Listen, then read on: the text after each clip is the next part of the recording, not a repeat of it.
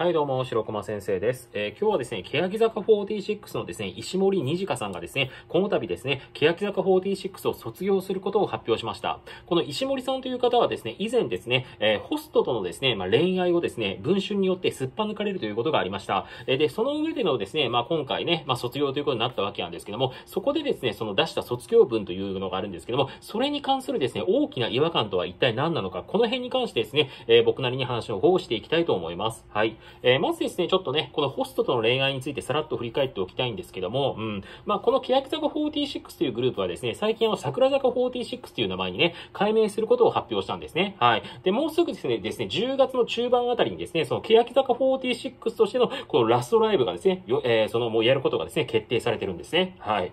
でですね、この石森さんという方は、まあ、欅坂46で今まで頑張ってきたんですけども、ここ1ヶ月ぐらいですね、あの、不自然なですね、休業をしていたんですね。うん。まあ、明確な理由だったりとか、そういうことも特に発表せずに、なんかこう、1ヶ月、1ヶ月ぐらいずっとこう、休んでるっていう状態が続いてたんですね。はい。で、その1ヶ月くらい休んでるのが続いてる中で、そのね、文春によってですね、そのスキャンダルといいますか、記事が出てしまったんですね。はい。で、内容としては何かっていうと、この石森さんがですね、1年くらい前からですね、そのホストのですね、え A さんという、まあ、アルファベットの A ですね。そこではまあ、適当に A という名前で載ってるだけだと思うんですけども、うん。その A さんとの恋愛関係にあるということなんですね。はい。で、この A さんという方はですね、ホストの中でもまあ、相当のですね、一流の方らしくてですね、もう月収が1000万円とか超えてるらしいんですね。はい。まあ、ホストなんて本当にピンキリですからね。うん。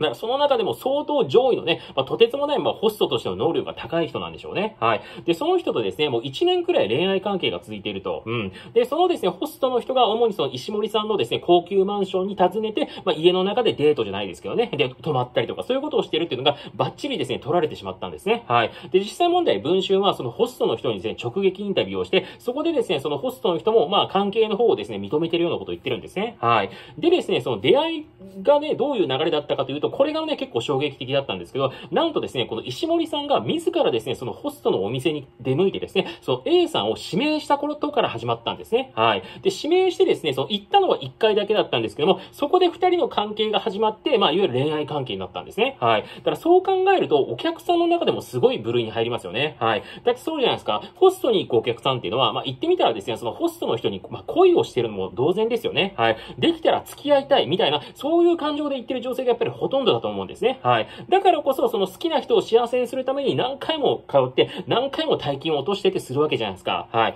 にもかかわらず、その石森さんは、初め、まあ、その1回だけ行ったそのホストの店にで、その A さんを指名して、その1回でですね、もうそれ以上一切ホストクラブには行かずに恋愛関係にまで行ったわけですよ。はい。って考えるんであれば、まあ、ものすごくこうコスパがいいと言いますか、こう女性としての能力が高いと言いますかね。うん。そういう気がしますよね。はい。で、そんなことをすっぱ抜かれた石森さんが、まあ、この度ですね、卒業することを発表したんですですね。はい。じゃあ一体どんな卒業文を発表したのかということをね、ちょっと、えー、ね、えーえー読んでいきたいと思います。はい。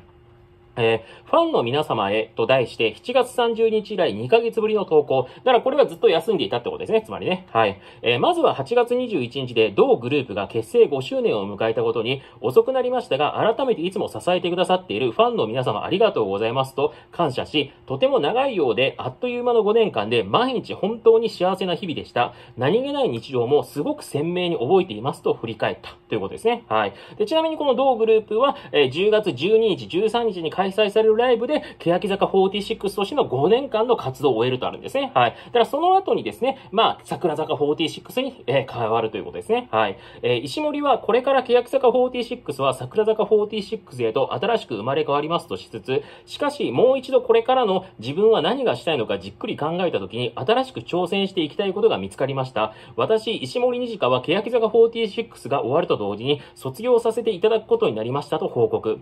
ファンの皆様はどんな時も大きな愛で受け入れてくださり、心強い存在でした。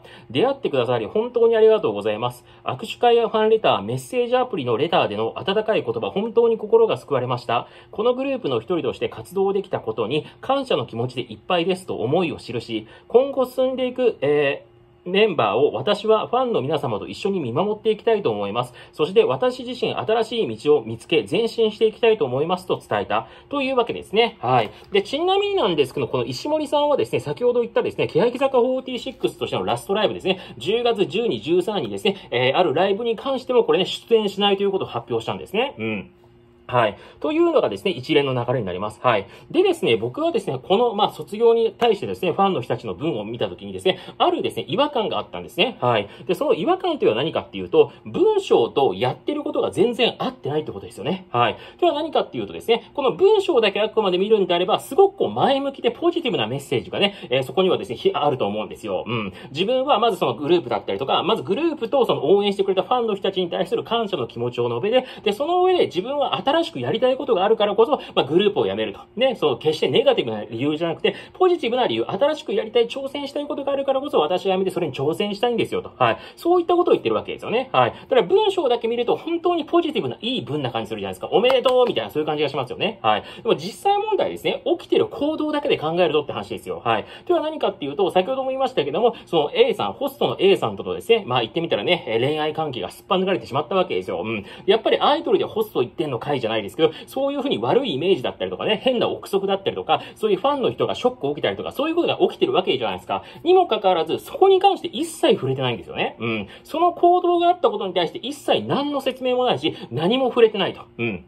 ね、にもかかわらず、これだけポジティブなメッセージを残して、あの記事が全くなかったもののようにしてですね、振る舞っているっていうですね、ここですよね。はい。で、さらに言うとですね、えー、その先ほど言ったラストライブですよね、欅坂46としてのですね、10月の中盤にあるですね、ラストライブ、これにも参加しないということですよね。はい。だって普通に考えたらですよ、ポジティブなですね、これだけメッセージを発信してるんであれば、その最後のライブに、欅坂46としてのラストライブにね、はい、えー、その、出演してですね、それで、まあ、最後ファンの人たちにお別れをしてですね、えー、欅坂46というね、グループと共に去っていくのが僕は一番ベストだと思うんですよ。うん。にもかかわらず、こういった卒業ライブ的なものにもないし、それにも参加しない。これすごく不自然ですよね。はい。で、実際問題ですね、これというか、僕アイドルあるあるだと思うんですけど、アイドルの人が辞めるときに、まあ、運営なりですね、グループ、まあ、そのグループメンバーだったりとかですね、まあ、もしくはこう、スキャンダルだったりとか、まあ、何かしらで揉めてるアイドルっていうのは、大概ですね、卒業、卒業公演しないっていうのがあるんですよね。卒業公演。うん。きちんと専用の卒業公演が行われて、とかですね、もしくは、まあ、なんかのライブの時に卒業することをしっかりファンの皆さんに発表して、それでですね、拍手の中やめていくみたいなパターンじゃないっていうのがすごく多いんですよね。なんかやらかした人っていうのは。うん。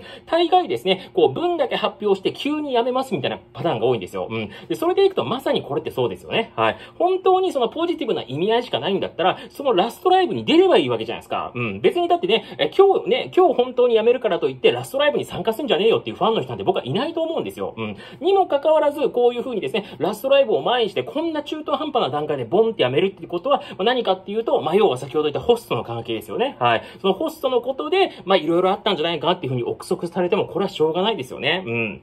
まあ、だからですね、その辺から考えてですね、まあ、先ほど僕が言ったようにですね、この文章と行動がまるで合ってないっていうね。はい。文章ではすごくポジティブなことを言ってるけども、このね、ライブのことだったりとか、その、えー、文、週刊文春が取ったんですけどね、そのスキャンダルのこととかですね、そういうことから考えると、全くですね、その文章、この文章を書くような人がやるようなことじゃないことをやっているというわけですね。はい。で、そこからじゃあ何が見えてくるかっていうと、まあ、答えは一つですけども、まあ、揉めたんでしょうねってことがわかりますよね。揉めた。うん。まあ、つまりですね、こういったことがね、もう世間にバレてると、ファンの皆さんにもバレてるってことは、この石森さん自身も分かってるはずだし、そんなことを言ったってファンの人たちが納得しない。それも全部分かってると思うんですよ。うん。でも、分かってるかもしれないけども、それを言うわけにもいかないっていうですね。まあ、もしかしたら事務所の方に止められてるのかもしれませんしね。うん。何があるのかは分かりません。はい、それはアイドル界のことですから。でもですね、まあ、言え、言えない事情っていうんですか？うん、そういうのがある可能性は高いんじゃないかなって僕は思いますね。うん。まあ、本当なんでしょうね。こう、飛ぶ鳥後を濁さずみたいな言葉ありますけど、それが全く当てはまらないようなですね、もう後を濁しまくって終わる。まあ、みんなの中にモヤモヤが残るっていうんですか、え、結局は、あれ、あれ何だったの？みたいな、もやもやもやって中で終わっていくっていうですね、一番嫌な感じのね、終わり方をしてしまったというわけですね。はい。